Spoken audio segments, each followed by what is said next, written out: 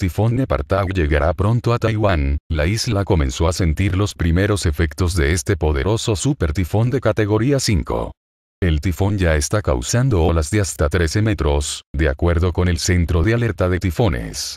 Según cifras oficiales, las lluvias en China han forzado la evacuación de más de un millón de habitantes. Aunque la costa este de Taiwán no está muy poblada, el terreno accidentado de Taiwán aumenta el riesgo de inundaciones y deslizamientos de tierra durante los ciclones tropicales. Los meteorólogos en Filipinas advirtieron a los pesqueros que no salieran a faenar y a los barcos comerciales que estuvieran atentos a grandes olas, mientras un fuerte tifón azotaba la costa nordeste del país. Se espera que intensifique las lluvias estacionales del monzón en el suroeste, lo que podría provocar tormentas eléctricas e inundaciones repentinas en la isla norteña de Luzón.